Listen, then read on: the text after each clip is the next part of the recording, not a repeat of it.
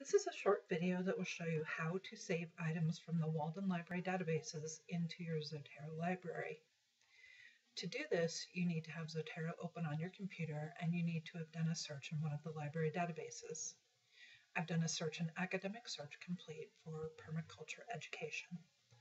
Once you do your search and you have search results and you have items that you would like to save, you can either save multiple items or you can save um, an individual item from the search.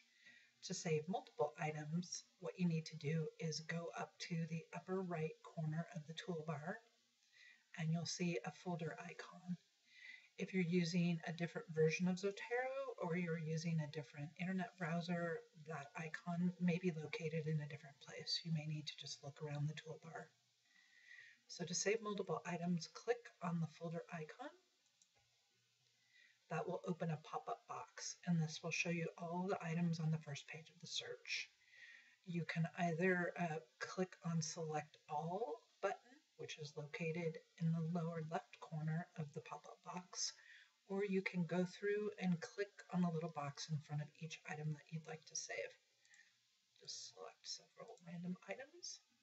Once you have the items selected that you'd like to save from that first page of the search, you will go down to the lower right corner of the pop-up box and click on OK. That will then save those multiple items to your Zotero library. And you may see a little kind of floating pop-up box down in the lower right corner that is telling you that it is saving those items into your library. To save an individual item, what you need to do is click on the title of the article And once that takes you to the article page, it may be an abstract, it may be a PDF, it doesn't really matter, um, just as long as you click on the article title.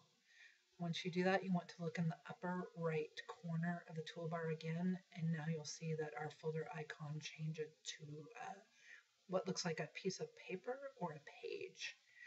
And that icon tells us that what we're doing is saving an individual item instead of multiple items. So if we click on that piece of paper icon, it will go ahead and save that item into the library. You won't see the pop-up box because you're not um, choosing from multiple items there. You just have the one item that you've picked. And you may see that little floating uh, box in the lower right corner that tells you it's saving. And that's how easy it is.